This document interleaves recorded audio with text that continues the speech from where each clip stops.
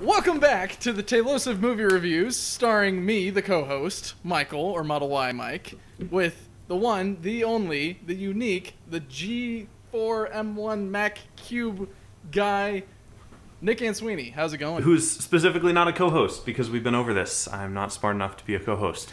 Hi, hi. Oh my goodness, this is going to be a good episode. I cannot wait to talk about the end of the world, you know, people rising from Egyptian tombs and just trying to take over the entire universe. It's going to be a good episode. X-Men Apocalypse Part 2. Can't wait to review it. No! No, we're reviewing Nah. a fun, lighthearted movie today. What movie are we reviewing today, Mr. Mike? Indian in the Cupboard, right?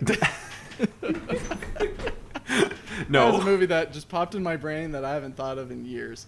No, we are reviewing the wonderful Emperor's New Groove, probably one of my favorite show or shows, movies that I've ever watched. So I'm gonna be a little bit probably biased in this. I'm, I'm sure you will as well, Nick. bias this whole show is our bias dude. Like stop hiding it. Embrace it. It is amazing. Um yeah emperor's new groove. Uh probably my favorite non-pixar comedy animated kids movie ever. It it is it is really th- there's only one thing that's good about it but it's probably better in this one aspect than any other movie um, and it's the writing the writing is perfect and the animation is great. You know, it's uh, 2000, I believe, the year 2000. Uh, Disney uh, kind of hand 2D animation. Um, beautiful, beautiful and all, but like, it's the writing that really makes the film for me. So, I didn't. You I want to know how many people animated this movie? Like at least like 50. Over 350 animators credited on IMDb for just doing the animating. This is not including visual effects and art department. Those are also pretty big. Wow. This one was the biggest at 350 animators, and this is, I believe, still the 2D phase of animation. Um, They had a few 3D shots crazy. though, where like it- the opening Cruisco song, like he's walking and then it like pans up and pans down. Like that's that's all three dimensional, for sure. In a way, I think it's drawn in a way to look like it's three dimensional, but I don't think Yeah. they're actually using three dimensional tools. They're just Yeah, getting different viewpoints to make it look like it's a very fluid space. It's maybe the same with like Pocahontas Mhm. or yeah, it's that uh, kind of Tarzan, or merging like of that, where- computer and pencil. Exactly, exactly. But it's amazing that over 350 animators worked on this for this, I think, 78 minute film. Like, not even two hours, not even close. We're probably going to talk about this film for 78 minutes, so buckle your seatbelts. Back on that train again with uh, reviewing a movie. We're not going to walk through it like we did in the No, past, most no, no. I no. think this movie deserves more, definitely more thought and a lot Mhm. more appreciation in terms of how much work was put into it. I was surprised. Um, I guess this is kind of something that we did a while back. Is kind of some of the budget numbers on how much money Mhm. was dumped into the project and how much yeah, they got out of it. They dumped in a hundred million dollars, and that's because they had a lot of issues with getting it on time. The scheduling was all over Hmm. the place. They were supposed to release this during the summer of 2000, um, and that's what their customer wanted, and a bunch of other people wanted Yeah. to get done by. Um, ended up the original lead dropped out of the project. Um, a lot of animators got pushed over to the 2000 Fantasia movie that they were doing. Ooh, yeah, yeah, um, yeah. To hmm commemorate, I don't know how many years, almost 50 years, I think, of Disney, or since the original Fantasia that they animated. hmm Um, so a lot of animators went there, but they ended up getting it done, and it garnered so much uh, popularity, or at least so much money, that the box office reported a 169.6 million dollars. So almost a Nice. funny number. yeah, almost a funny number. So close. Some people should have should have gone to the movie theater a few more times, and that's just movie theater. I, I I don't I didn't see this in the movie theater, and I know tons of people didn't. This was really I think made to be a direct to video type movie. I don't think this was ever really supposed to be you know the huge Hollywood blockbuster. If anything, it's a fun summer cli flick that you know had really really came into its own with the VHS and you know just being able to watch this on Saturday morning while you're waiting for your parents to wake up. Like it's just it's just a funny, you know, a funny movie, right? And it and it's super approachable to all ages. Like as a kid, I remember watching this movie and being like, "Oh, he's a llama. That's funny. Oh, evil cat has funny voice." Um, but then, like as an adult, I'm watching it and just Kronk saying, "Of course, you can't. He can't come back, especially after that beautiful eulogy you gave." it's just like all, all these things that went like miles over my head. I get him as an adult now, and it's so much fun. Uh, definitely accessible movie to all ages. is uh, lots of fun. So I don't know how I got on that kick, but yeah. Yeah, a lot of interesting innuendos in this as well. I mean, I didn't catch on all of them. Uh, apparently, at one point, the word "damn" is spelt out in wooden planks, which is a funny play on Huh. wooden planks and other things because Yeah. dams were originally built with wood by beavers and stuff, and then humans adapted it to concrete and other stuff. But um, just a lot of funny things like that. Um, I think what really made me laugh is you don't really realize as a kid, but he calls or in the song at the beginning, Kuzco basically calls himself the Alpha and Omega, or at Mhm. least the singer calls him Alpha Omega. I'm Yeah. just like, this is hilarious. This guy's so in over his head Yeah. that he just sees himself as a deity. Yep. And What does a deity do? Make a pool on a, uh, a giant mountain or hill out in the middle of nowhere. Like, Kuzcotopia. why not? Come on, why not? Kuzcotopia. oh my goodness, beautiful movie. So, what, what's your first memory of this movie, Mike? Like, what, what's your? I'm, I know we're both Well, coming into this with I think a ton we're of nostalgia. skipping something right now. Oh, okay. What would you rate this movie, Mr. Oh Lincoln Sweetie? out of yeah. Okay, uh, out of eight, this movie easily gets a six and a half, potentially seven. Yeah, It- if we're going it- on halves, this is probably a 7.5 for me. Okay, It's not Nice, the nice. most perfect movie, but I caught myself many times just laughing out Yeah. loud. And then my wife just looking at me. Of course, she's laughing too, but just looking at me like, "Why are you laughing so much?" And I'm just like, "This is a great, enjoyable movie." I'm yeah, so many years old. I'm in my late 20s, and I'm able to just enjoy this movie, like Mhm. not having to pretend to enjoy it, like with many other movies that we've kind of watched. Um, yeah. maybe not necessarily like I'm putting on a fake facade just to enjoy the movie, but like this one, honestly, every single scene, whether it's just Yeah. pure Kronk being Kronk or just the writing, the writers, like you said, hilarious and genius in what Mhm. zingers and other jokes that they throw into this. That, it, like you said, very approachable, but easily a movie that anyone could sit down and watch and enjoy, even if they're two years old to 92 or something like that. I guess yeah I think I just stole that from a Christmas song. But, um, It's okay. We're just borrowing. anyways, yeah. So, when's the first time you remember watching this movie, Nick? Um, I, I was I was so young. I, I don't remember when it was, but I remember uh, we had it on VHS, and I remember uh, some you know Saturday or Sunday mornings or whenever like you know the parentals weren't stirring yet, and you know they were you know trying to run away from us hooligan kids.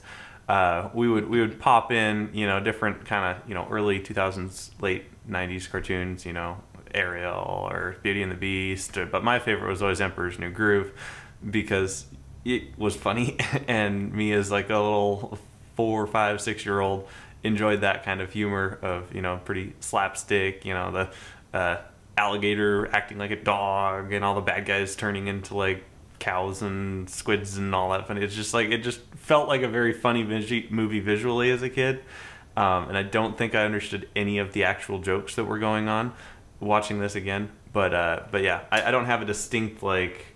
And then the VHS box was opened, and inside we saw Emperor's New Groove. Oh!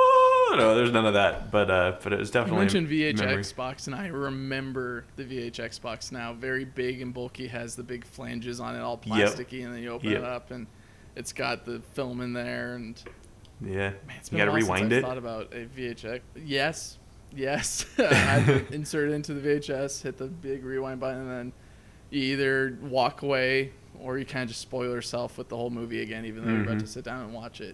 but it's in reverse, I guess. Yeah, or you push the stop button and then push the reverse button. It goes even faster and goes. I never did that, Really? Uh or oh. maybe I did it on accident. Okay. Well, that's how we always did it. Anyway, yeah. So just just tons of like childhood nostalgia, just like real real good memories on Saturday morning. You know, before you know anyone is up or whatever making too much noise, it's just like you know sit. You know, little, kids get up way too early sometimes just because you know the sun's up. So I'm sitting there like in a little blanket on the floor in the living room watching The Emperor's New Groove. Probably just our minds like being ushered out of bed and then to kindergarten or something like that. Like you Yeah. get up early, right? The parents have Yeah. to go to work or they have to drop you off at kindergarten, so you have to get up early. So maybe Yeah. it's just your internal clock as a kid of just like, okay, it's time to get up, but then you realize it's a Saturday and you're like, yes, Yes. just watch movies and do whatever I want. Just be quiet until ten. That was the rule. uh, You're not wrong. I think for my mom, it was more of just she'll wake up around like eight or nine o'clock and then start Yeah. making pancakes. ooh, But nice. definitely a lot of that nostalgia with this movie. It definitely takes me back, um, remembering all the things that were happening at that time. But just enjoying the movie, nevertheless, with all the hijinks that go on.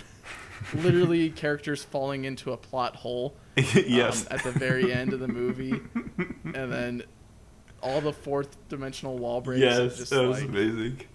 either Uh, the da- the narrator being Kuzco, or I guess him stopping the movie right? and like scribbling over uh, Pot, uh, Pacha. this movie's about me, not about him. okay, thanks. Goodbye.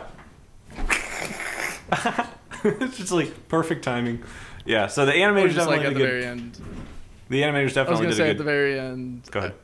Sorry. No, we got a FaceTime I'm delay. sorry, Nick. No. I was gonna Oh. mention the uh, was it the path at the end when they're chasing each, or when Yeah. Falcon and Yzma are chasing Yeah. Pacha and. By all Kuzco. accounts, it doesn't And, make like, any they've sense. got the little purple triangles and the red squares, and they're looking at the red squares, and they're just like, "What?" and they look at him and see the purple triangles. They're like, "I don't know." Look at the camera. Oh, There's yeah. a lot of like, not not Walt Disney, but uh, Warner Brothers type of like cartoon Mhm. entertainment, or at least tropes in this, like with characters floating in midair, and then looking at each other and then falling, Yeah. or uh, other things like that, or I guess in a sense like the funny gag with like the squirrel in the balloon, right? the squirrel threatens Yeah. to pop the balloon with all these. Uh, Panthers. they're not leopards, where Li- uh, panthers? Yeah, Or I don't know. Lions, tigers, bears. Oh my. I don't know. Yeah. I yeah. think they're panthers. There's that joke too. Threatens to pop the balloon, pops the balloon while Kuzco is surrounded by all these Yeah. panthers. Nothing happens, and what wakes him up is not the balloon popping, but it's him saying "Ha!" yeah, definitely. I, I, I think overall, writers did a good job, but the, the reason why this movie really works, for me at least, as an adult, is because it does not take itself seriously at all. I think that a lot of Disney films, especially in the late 90s, early 2000s, were trying to take themselves way too seriously. And I really appreciate that. I, this this feels like it was written, you know, in the mid 2010s. Like this is like a very modern style of writing where you're very self-aware. You're self-aware that this is a movie. The joke is that this is a movie, and you know the characters can interact with the narrator who can pause the movie, and it's just like it feels very forward thinking for really late 90s writing obviously it was released in 2000 but you know most of the stuff was done in the late 90s um, but th- this this does not take itself seriously at all which is why it's so rewatchable for me as an adult. Um, so I'm, I'm famous for not watching a lot of movies. Um, but when i was on a trip about uh, half a month ago about three weeks ago um, the only movie I downloaded and uh, wanted to watch in the car was uh, I wasn't driving, by the way, I was a passenger. Um, the only, don't have a Model Y yet. Um, the only movie I wanted to watch was Emperor's New Groove, and that's just it was just like I wanted a nice lighthearted like pass the next seventy eight minutes for me in lighthearted funniness, and that's what you get when you get when you when you pull up Emperor's New Groove. Yeah, Yeah, I mean, again, we can't stress enough. The writing in this is fantastic. Uh, Chris Williams and Mark Dindal, um, who composed the story, did a fantastic job, kind of shaping how it was supposed to go, and then all the other people. Um, I could name all of them, but I'm not going to. Yeah. Uh, who contributed to the writing? Fantastic, and not just the writing, uh, Nick, but also the cast that they garnered as well. Mm. They got Okay. David Spade, who is a pretty funny com- or comedic actor, um, as Kuzco. They got John Goodman, um, giving kind of like that Pacha type of uh, life into the character. Yeah. Um, Eartha Kitt, Eartha Kitt, who fantastic um, as Yzma, could not nail it more on the head. Um, along with Patrick Warburton with Kronk, uh, just fantastic casting, and you could definitely tell like if I think they mentioned this in a behind the scenes. If you were to make a live action version of it and you still had all the actors alive, you could probably do it with all these people. I mean, maybe David Spade would be kind of hard. You'd have to put a lot of makeup on him and dye his hair black and make it long, but uh, it could work. Yeah, no, definitely. Um, the the life the life in this movie is very evident, and there's there there's something special with animation as a medium, uh, whether it's 3D uh, computer generated or it's uh, you know 2D hand drawn or 2D 2D synthesized like this one kind of was. It's the artists are able to put a lot more thought and care into each frame, and I think that really comes through. Um, like especially with the old hand, handmade animation ones, like we don't we don't get the uh, 20 minute Canto Bight scene from Episode 8 of Star Wars. Like there's no waste. There's nothing wasted in this. Every single frame is well thought through. It flows and it's and it's serving the purpose of the greater plot. When the purpose of the plot is to obviously entertain you, and I I found that I was enjoying little bits of this movie that like I didn't really remember existed. Like the uh, the uh, lady at the uh, cafe was like, "Bless you for coming out in public." I was just like, I get that now. Uh, it's like nothing was wasted. Like they could have had that character say literally nothing or literally anything, eh, but they they chose to have that go down exactly as it did to you know make a funny joke that adults get and just sails right over the kids' heads. right. Right. All right. I don't. I don't think any conversation of uh, Emperor's New Groove would be complete without at least gushing over the character of Kronk for a minimum of ten hours. Um, so let's begin that part of the show now. Kronk. Oh my gosh, the best character in all of 2D animation. I said Kronk, the character that's in Emperor's the New Groove, the one that serves Yzma, that character. Right. it. Right. Oh. Right. oh boy. Um, I think every single line of the movie is well written, but they gave 90% of the funny lines to Kronk. And it was, it's glorious. It's glorious. Every single line of his is memeable. I, I, I don't know how deep you want to get into this. Uh, What's your favorite Kronk line? How about that? There's too many. I wrote a lot of notes down. I saw that. For this movie. like, Whoa. Um, there's a whole bunch. Um, a lot of the visual gags with him definitely got me this time around when watching it. Um, but, hmm. You're gonna have to give me a minute while I look. Okay. I, I think, but what Yeah. would yours be? Beside, would it still be right, or would it be? I, Uh, I It's mean that scene. that whole scene is gold. Where like it's so obvious that they're about to poison him. Like, well, okay, hit him on the head, and he's just like more broccoli. like Kronk is amazing, but like e- even how like you hear.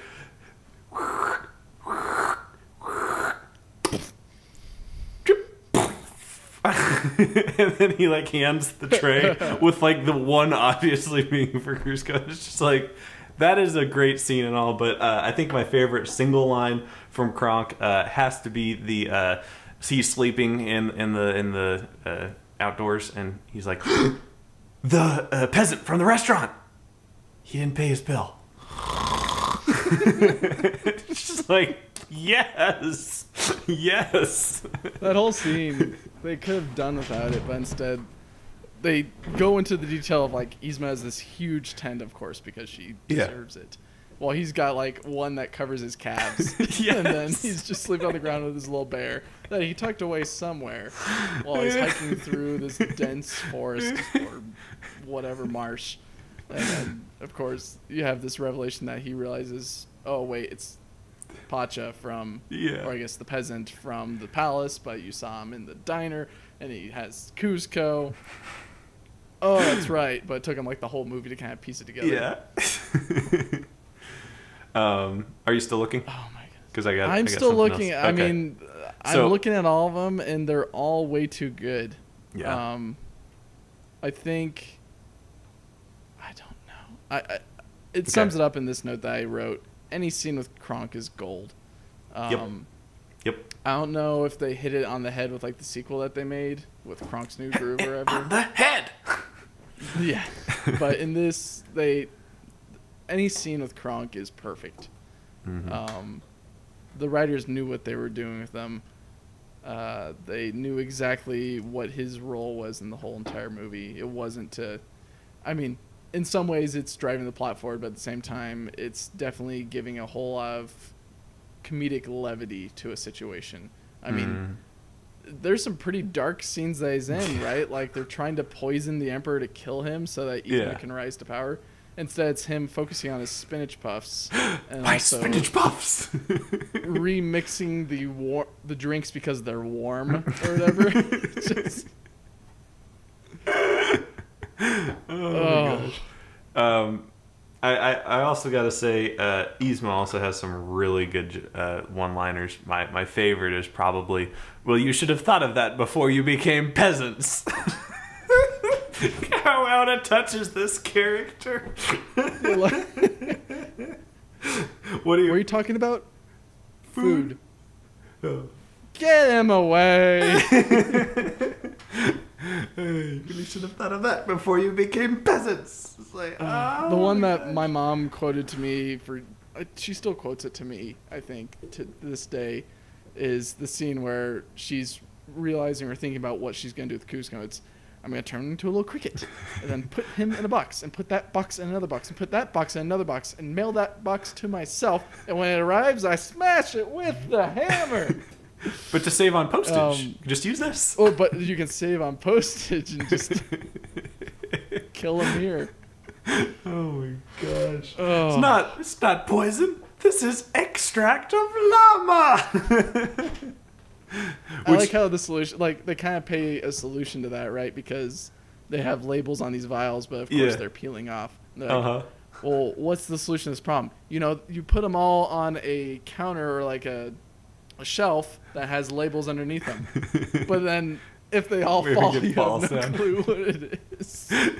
And even Kronk mentions it. In my defense, your labels are kind of confusing. You might think about relabeling. It's just like It's like every. Oh. I don't know if everything is paid off in this film, but a lot of things are from the beginning to the end, or just like Mhm. in a very quick second. Like a problem Yeah. is put in the hands of these characters, and immediately, like five seconds later, it's solved yeah. in like the most ridiculous way. um, they just appear at the end, and by all counts, it doesn't make any sense. I don't know.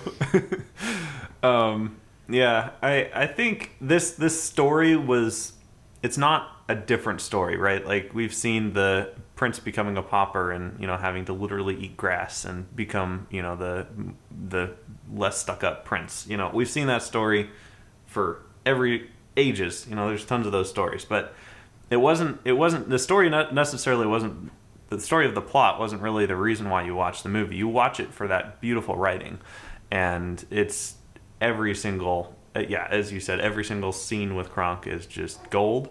Um, a dancing warbler that makes five for my wildlife bingo.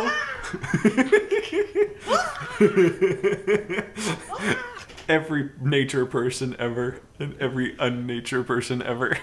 oh, Oh, it's so goodness. true. It's so true. Um, I don't know if you caught this. I I never caught this until I watched it this time. So uh, in the scene where they're poisoning Kuzco, um, and Kronk mixes up or mixes up the drinks, he ends Mhm. up uh, mixing them all together, and then Yeah. very obviously just don't drink poison. It's put. And so then, like, what she does is she just like pours it over her shoulder into like the cactus plant behind her, and then Yeah. he's just like pouring it behind him, making it look Yeah. like he's drinking, but of course it's all splashing over his muscles.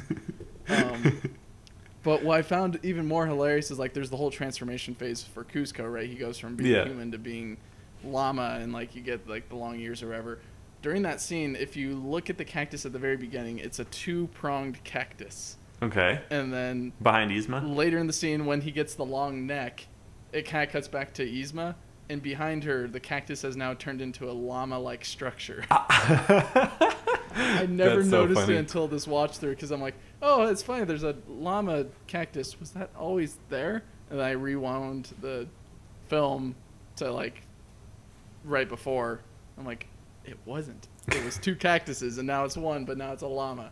That's That's funny. amazing. That is so funny. I that I didn't catch that until you pointed out in your notes, and I pulled it up today, and I rewatched it, and I was like, "Wow, good job, Mike. Good catch. Good catch."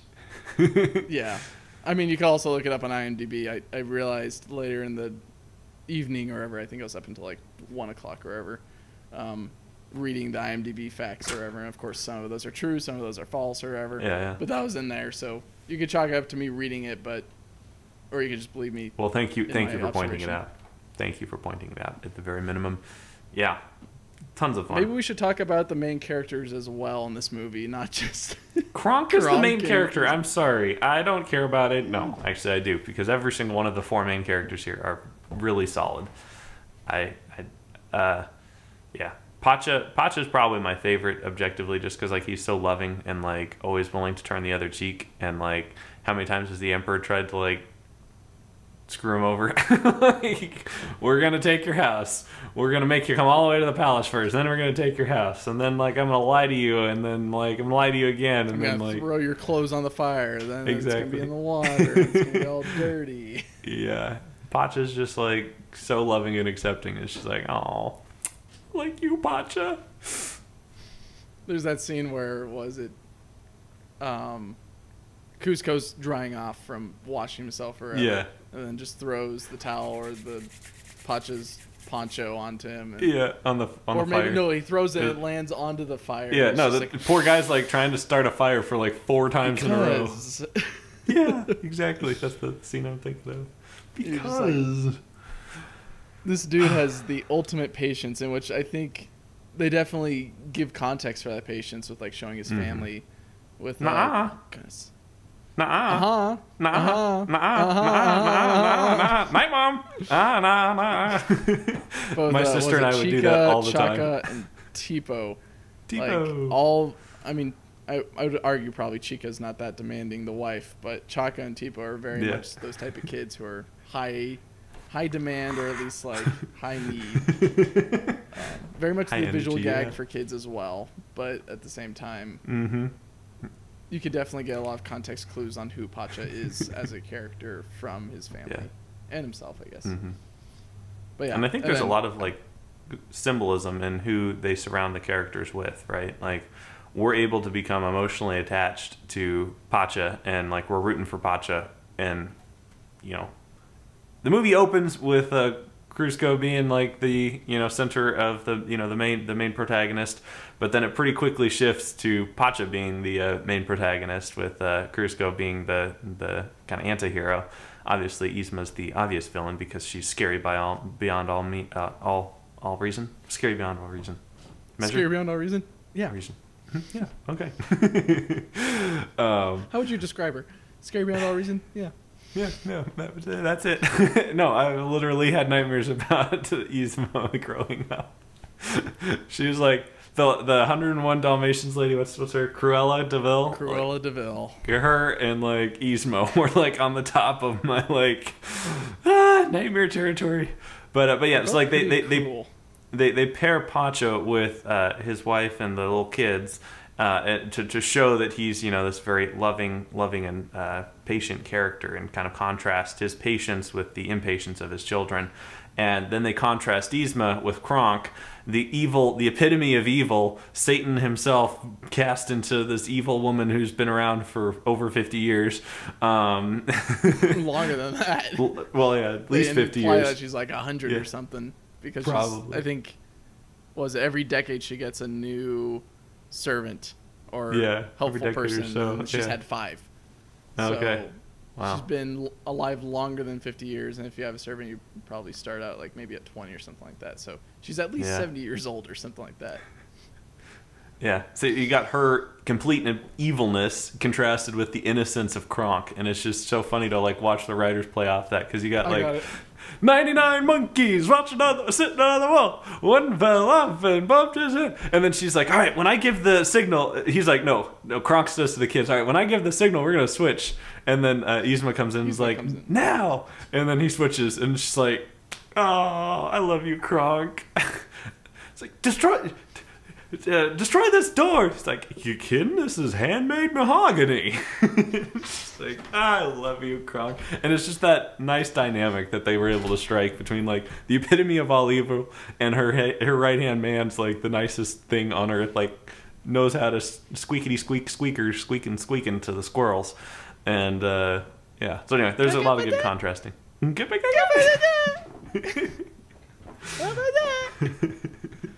Squeaker, squeak, squeak, squeaking. Swaggin. that was the perfect ending. Yeah. Um, Oh, let's see. So yeah, good character development for sure. Um, I.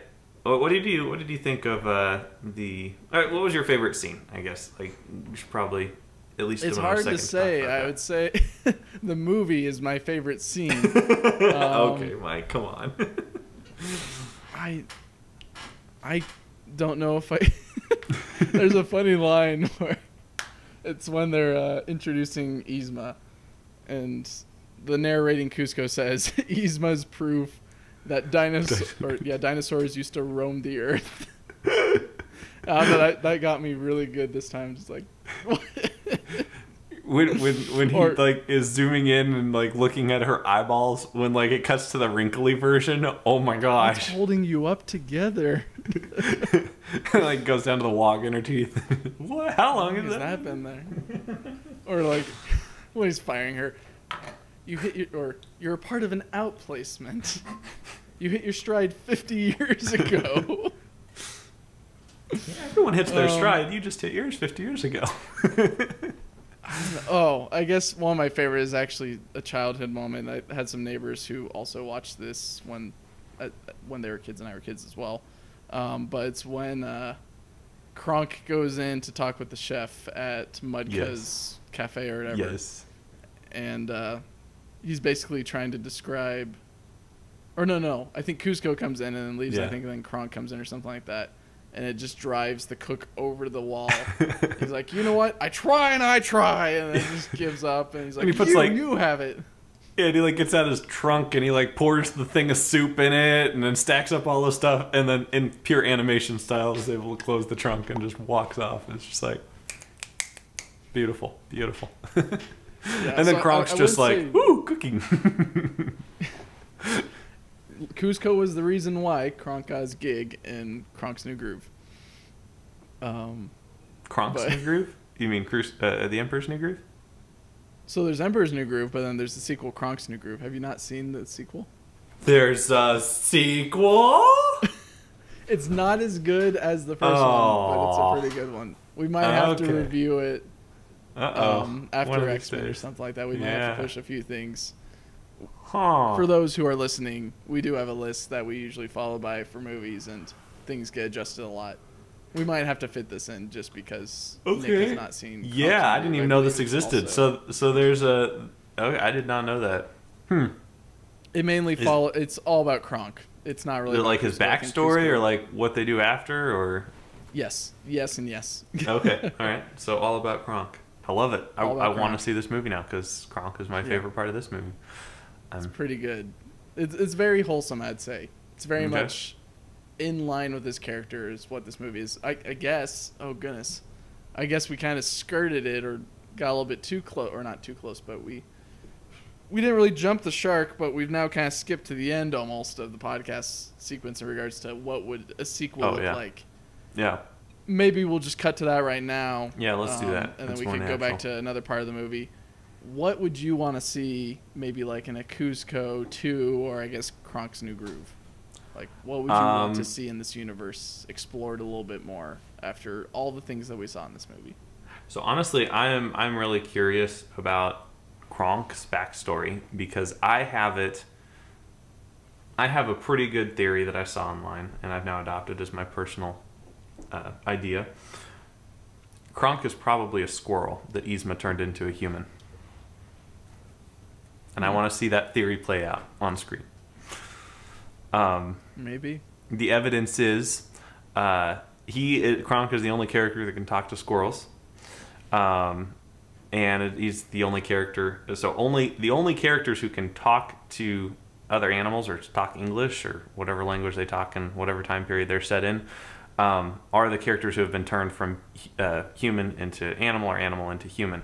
Um, so we only see this three times. We obviously see Kuzco's llama talk.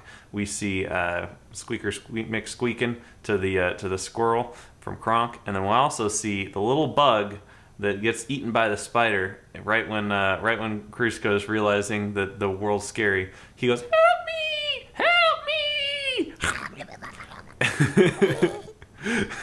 that was violent.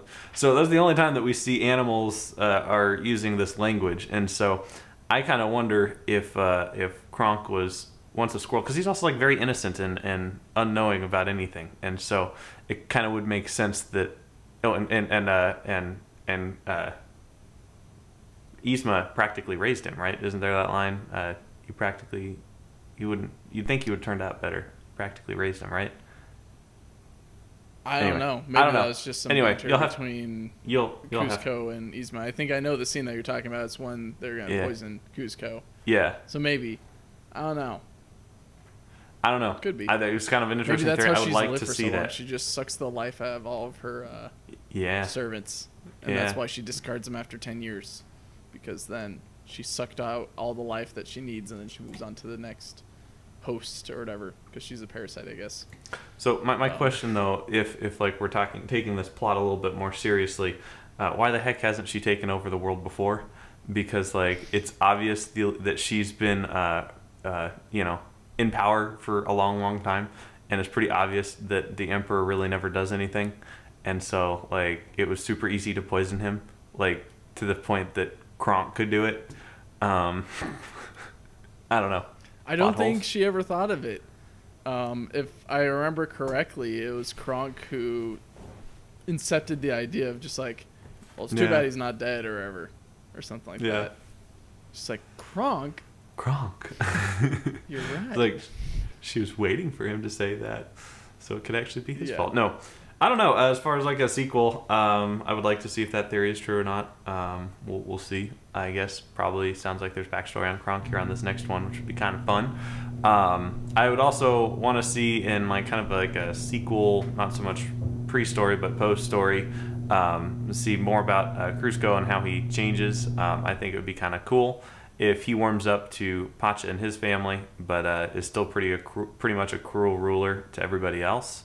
I think that that would be uh, some room for even more character development because I know they kind of tied up with a nice bow at the end where you know he's living at the house next door and they go swimming together and everything. But like it might be kind of fun if we find out that uh, Kuzco was only being nice to Pacha and his family because they're now friends and he's still a terrible emperor and he has to go on another adventure to uh, to become a nice emperor. So Nick, I have some good news and or bad news, however you want to interpret it. They kind of did that already. Um, Whoa. they came out with the Disney Channel original series. Oh goodness, was it Kuzco's new school or Kuzco's whatever? He basically goes to school. Um, before he could become an emperor officially, or even though he was already Hmm. an emperor, he has to go to school and get a degree or something like that. Um, it's basically Disney's way of milking out a character. They did the same Yeah. with uh, Hercules, right? They Hmm. made the Hercules movie, and then they're like, you know what? People want more Hercules. Let's just make it Hercules in school. And they Hmm. did the same with Kuzco. They did Kuzco in school, where he basically just kind of reverts back to being Kuzco again. And Hmm. just like nothing was really learned in the movie then, Hmm. because I believe canonically it takes place after the movie, but I don't know. Interesting. Um, so technically, And that's separate than the explore Kuzco a sequel or the prequel. It's in the Kuzco universe, however you want to call it. so there's like more than just the Emperor's New Groove and more than this Kronk movie that I'm just hearing about. so there's the Emperor's New Groove, Kronk's New Groove, and then Emperor's New School or something like that. I forget what it's called. Huh. And it's like I forget. I think it's two seasons with like I think maybe 20 episodes in each. Whoa! Wow. Um, so there's a lot of content, and of course they introduce other characters in there as well. Um, I this is all stuff that I watched as a kid and I forgot about and I didn't remember it until I got done with the movie and of course what does Disney Plus do best and I think what any streaming service should do pretty well is when you're done with the movie they recommend you something related to it. And what they Mm. recommended was this animated TV series Oh. which then got me into the Hercules series that I forgot about, which then got me into was an American Dragon Jake Long, if you ever watched that show on Disney No. Channel, and Kim Possible and a whole bunch of other stuff. And I realized, wow, this is a lot of my childhood wrapped up into Disney Plus. How nice. I'm never going to have time to watch this, but how nice. How nice. oh my goodness. Wow. Okay. Well, that's Yeah. kind of cool. Uh, I'm glad to hear that there's, I guess, more Kronk and uh, more Yzma. Is Yzma in this this one? Yzma's in both of them, yeah. Ooh. Okay. Cool. Cool. All right. I'm looking forward to it. That'll that'll be kind of be fun. I Yeah. I won't I won't be expecting as much because obviously sequels are never as good, but we'll we'll see. I, I realized also they play a lot on a lot of tropes in society in this movie. Um, thinking about the scene that is probably one of my favorite of the chef saying "I try and I try." It's very much like a needy customer going to the back Yeah. and being like, "Chef, you're not doing the right thing. You're not cooking Yeah. correctly. I don't want tomatoes or whatever." Yeah. It's just like, whatever. I'm gonna spit in your food at the end of this, but whatever. so stuff like that Uh, yeah. or Huh. um, I don't know, awkward convos, right? Like you have uh, Kuzco and Pacha talking at the pond when uh, Mhm. Kuzco's trying to convince Pacha to take Ribbit. him back to Ribbit. yeah, ribbit. They're kind of just sitting there, just like, uh, I guess we go now. So your wife Um, knits, crochets. Oh, oh, oh, nice. so. Or uh, or even like when you're talking with someone, right, and they're trying to describe their family to you. And it's like, oh yeah, he's my cousin's brother's sister, twice removed, or whatever. yes. And it's the whole like with in this Yes. movie, it's my uncle's sister's mother's cousin brother, twice removed. Twice removed. It's yeah. like I Uh, lost track. Does that make him your brother, or does that make him you? No, it makes sure your great, great, great, great, great, great, great, great, great, great 26 aunt. later. uh, that whole scene with uh, with with them at Pacha's house is just so funny because the kids are little terrors. They're definitely in control, right? Like it's not Yzma and Kronk driving the uh, the conversation or the narrative. It's the kids just being like, "Oh, look, people, let's play jump rope with them." Like, who, ca- who cares who you are? It doesn't matter if you're Yeah. the leader of the Great White North or some conqueror of some country. Yeah. You're gonna play jump rope with us. and then and then we're gonna you know have you fly down a hill and then get on a wheelbarrow, duck you in a beehive, and then feather you, and then stick you on a, a pinata string and have a bunch of kids beat the tar out of you. Oh, every time I Such see a that scene, random scene. That's why it works. Who thought about that? it's so like- funny.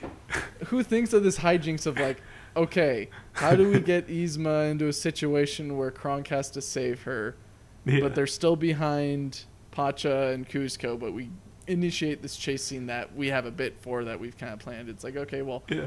she busts through the door, but then she gets knocked over by that part, the one half of the door, Uh-huh. which then flings her into a cart, which then flings her through a, be like, the imagination in these people's heads. Again, credit to the writers and the animators and the visual effects people. Like, I could not think of this. Like, I mean, of course, I couldn't think of it back in 1999 or 1998 when they were Yeah. making it, but still, like, I don't think I can imagine that scene, like Yeah. off the top of my head, of just like some Rube Just- Goldberg machine of doom just to make someone into a pinata. but it works so well because like the the movie does not take itself seriously at all, and it's like meant to just be a dumb, silly movie, and it just escalates so quickly. Like the reason why I like that and I brought it up is just it escalates so quickly and it's so random. It's just like. And, and they have a little setup. It's like, all right, kids, one, two, three. it's just like perfect. Yeah. What did you think about some of the camera work? I think that uh, obviously this is a 2D animation, but there's some like pretty complex camera movements uh, I mean, are. like you said at the very beginning, right? We've got the palace of like setting up Mhm. Kuzco to be this big grand person, and like he gets doorways built for him, but then like. Of course, you get the scene where like the camera's kind of going over him, and Yep. it definitely gives like the 3D effect, like we mentioned earlier.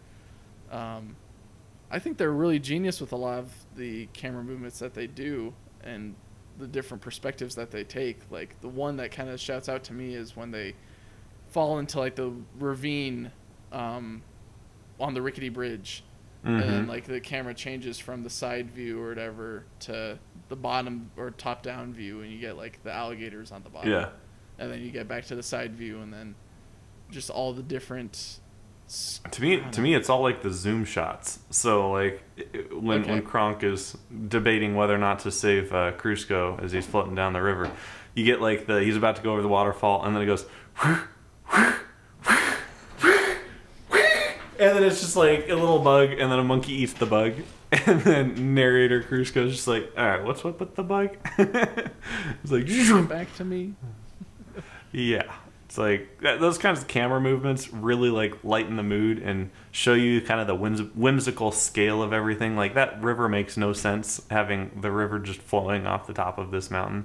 makes zero sense the at uh, all. canal. But it's yeah, no. just and funny. It gets super Yeah. deep at some points as well. I mean, it, Yeah, this of whole course. movie is great because it grounds you in reality in some aspects, like very relatable aspects Yeah. of like just trying to.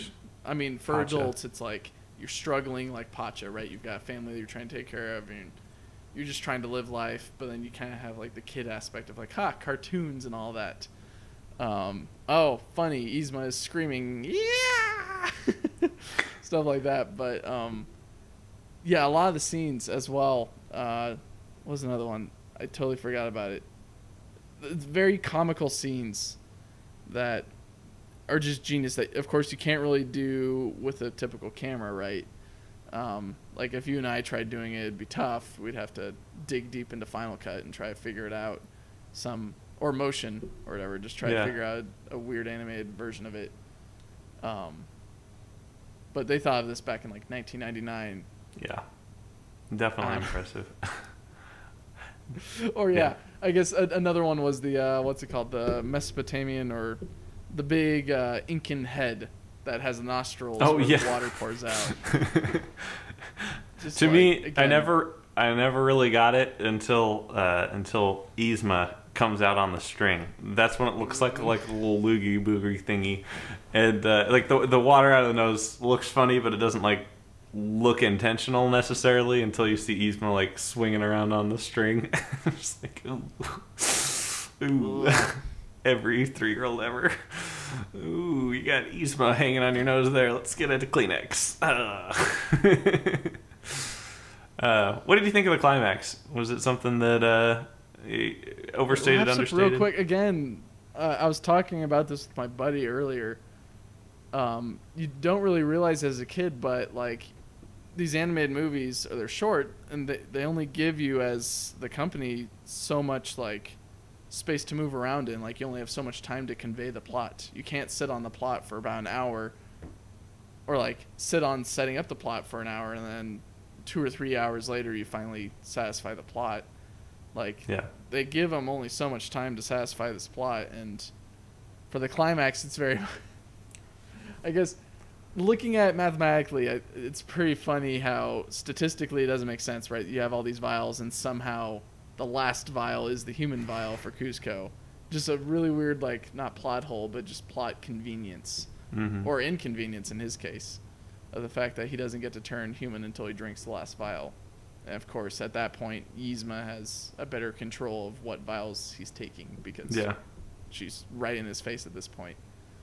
Um, but I don't know. I, I think it wraps up all right.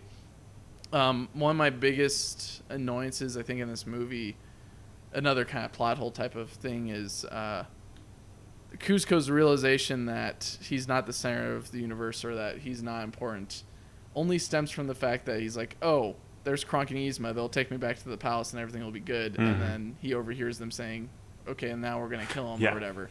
He's like, oh, people are bad. and then he goes crawling back to Kronk, but he can't find Kronk, and then he Yeah. kind of has a night in the or rain. Pacha? Pacha, my bad. Thank Yeah, you for you're good. correcting. You're good. Yeah. No, you're good. Um, but then he, I guess he has like maybe 24 hours to kind of reflect on the fact Yeah. that he messed up. But still, it was very much like a quick 180. Um, it wasn't like the realization moment that I wanted for shifting that, and then the climax again. It doesn't really feel too paid off to me of like how he's turned a new leaf. It's more of just I don't know. Maybe he's expanded his mind one percent. Hmm. so I don't think he's really redeemed in my in my book as an adult. Um, but I don't know. It's it, it's an interesting way they they have so many different visual gags of just like animals chasing these people and then Kuzco turning into different animals. Um, I don't know. What what do you think of the ending, Nick? Because I think Um, I- I'm overanalyzing this. Yeah, I think you might be overanalyzing a little bit because at the end of the day, you know, we need we need to have uh, Kuzco sacrifice himself for Pacha. That's like what what the plot is requiring here. Um, but we need uh, I, you know, I'm gonna say it. Okay. Say the Emperor's New line, Groove. Bart. The the the Emperor's New Groove's ending is better than Episode Nine of Star Wars ending. There, I said it, um, because it, it feels earned, right? We have all of this uh, build up, and and Pacha and, and Kuzco look at each other and like, "You thinking what I'm thinking?" Yeah, and then they walk up the thingy to get the little vial, and, and it just feels very earned and like they they earned this um, accomplishment. And in the very end, Pacha's hanging hanging on by one finger, and he's just "Ah, help. And Kuzco sacrifices his desire for someone else, and this is the first time in the entire movie, you know, that we really see him sacrifice something for someone else.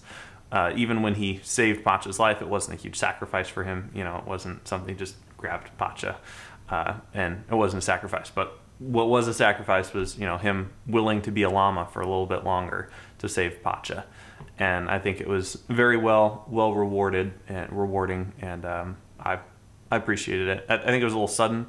I mean, we went from the the cat falling, and yay, and then the little thingy falling to a little vial, and then somehow, I told you we didn't order a trampoline. We could. You could have told me before I set it up. It's just like, oh, that's not how trampolines work, but okay. Again, physics is not a thing that Disney does a lot. Eh, least focuses on too physics, much. physics. But yeah, no, I think that's a good way to put it, Nick. Is the fact that he does redeem himself in a way of actually sacrificing his humanity, like his human Mhm. form, I guess. He sacrifices his human form for actually being a human, or at least having human feelings of saving someone's life rather than thinking on his own self-interest of becoming a human again so he can have Kuzcotopia, or at least just be becoming a normal human again. So that's a good point. I mean, they, they kind of bats you with a mallet straight in the face with like what they're doing, but at the Yeah. same time, yeah, hmm. Or I guess in this case, a frying pan to Kuzco's llama face. yes. Uh, or the Oh, the CPR scene. Very interesting scene to kind of reflect back on, like one kissing Would an you animal. kiss a llama? I mean,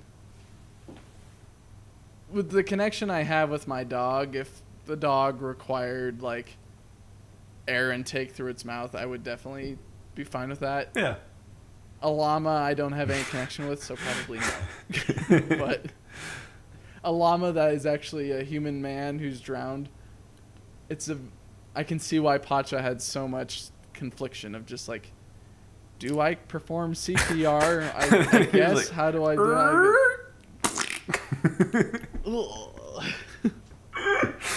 Uh, he wakes up just at the perfect time. Like, "Ah!" oh my gosh. I guess another gag, which I forgot about as well, is uh, when Yzma is uh, con- confronting the heroes, um, and you get her just being like, you weren't expecting this, and starts pulling up her dress. Everyone's like, and "Ah!" just like, oh no! She pulls up a little bit longer, and it's a dagger. And they're like, oh, Like, good. oh, thank you. a lot of humor in this. yeah. Of, uh, I don't know. It could definitely easily go over kids' heads in That one went over aspect, mine. but definitely uh, make them laugh in another way because there's something funny about kissing a llama, or a lady potentially exposing more of her ugly leg.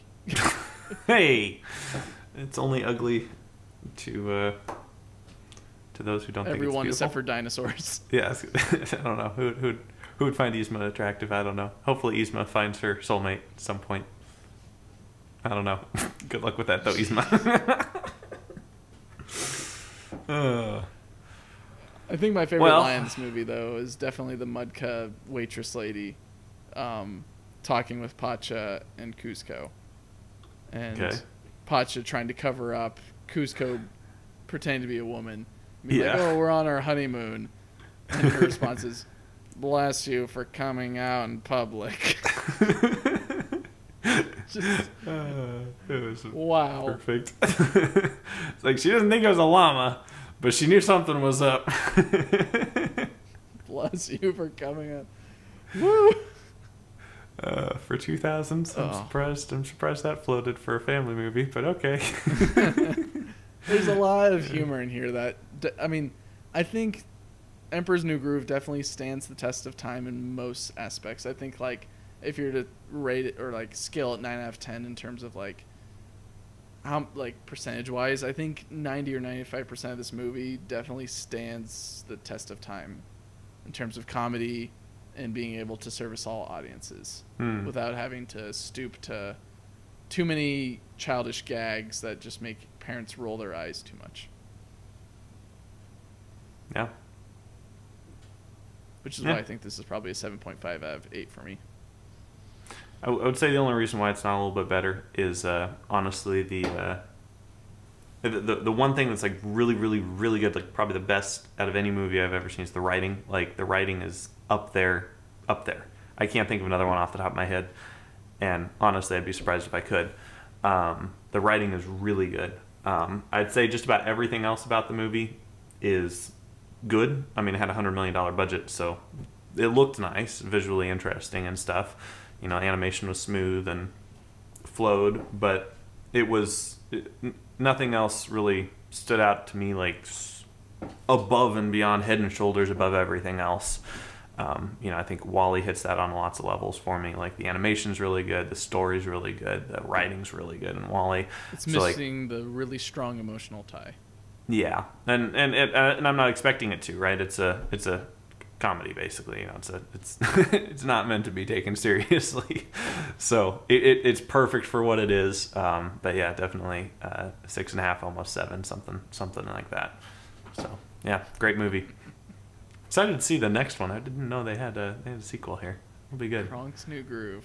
Yeah, it's definitely uh, definitely an interesting one. I don't think it hits the same ballpark area that or the Emperor's New Groove does, but it's still in a nice realm that it's wholesome in some ways, delivers gags in other ways pretty well.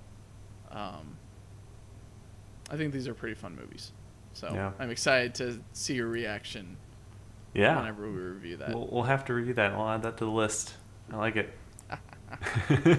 Well, cool. Well, if there's any movies that you guys want us to review, please feel free to comment below or find us on Twitter or Instagram or wherever you want to find us, and we'll be more than happy to.